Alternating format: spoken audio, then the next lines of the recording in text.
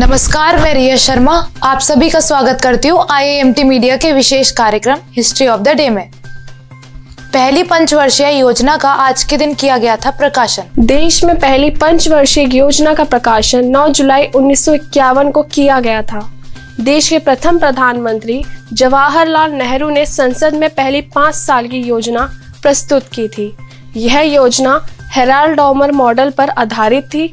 और मुख्य रूप से बांधों और सिंचाई में निवेश सहित कृषि पर केंद्रित थी। यह योजना दो हज़ार अड़सठ अरब रुपए की थी।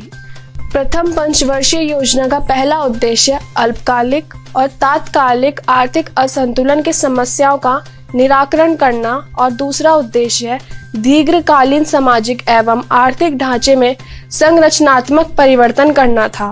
आज के दिन हुई थी देश के पहले stock exchange Bombay stock exchange की स्थापना। देश के पहले stock exchange Bombay stock exchange की स्थापना 9 जुलाई अठारह को की गई थी।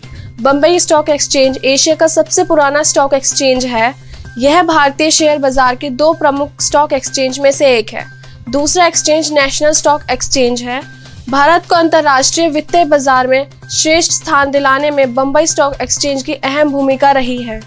इस Bombay stock exchange securities contract regulation act 1956 के तहत स्थायी मान्यता मिली है। आज के दिन हुआ था सूडान का विभाजन। दक्षिणी सूडान बना था नया देश। 9 जुलाई 2011 को अफ्रीका महाद्वीप का सूडान दो भागों में बट गया था और दक्षिणी हिस्सा रिपब्लिक ऑफ़ साउथ सूडान के नाम से नया देश बना था।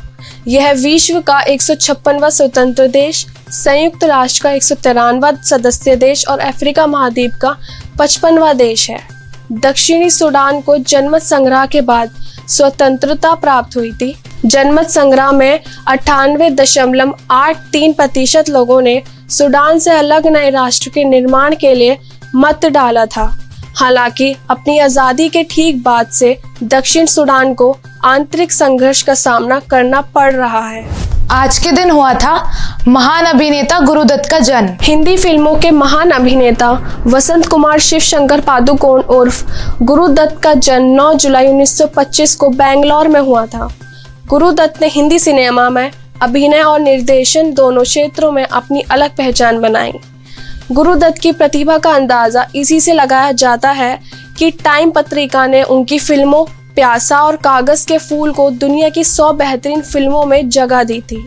उनकी बेहतरीन फ़िल्मों में चौधरी का चाँद व साहब बीबी और गुलाम को भी शामिल किया जाता है।